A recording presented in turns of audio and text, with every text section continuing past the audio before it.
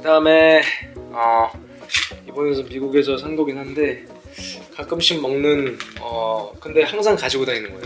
어, 멜라토닌. 예. 잠을 잘 자기 위해서 그냥 스케줄이 있는, 있는 날은 그냥 멜라토닌을 하나씩 먹고